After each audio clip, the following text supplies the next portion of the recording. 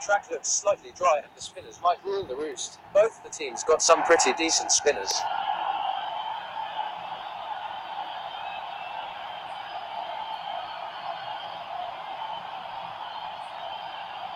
These two batsmen have been involved in some great partnerships for their team.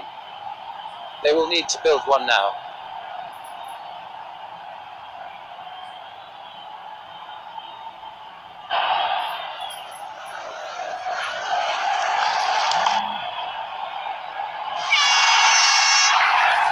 That's a great shot. That made the bowler really frustrated.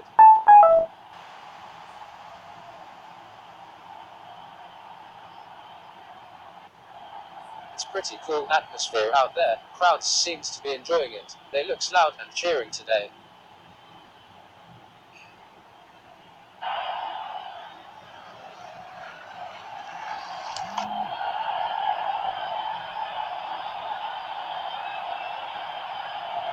Hit straight to the field.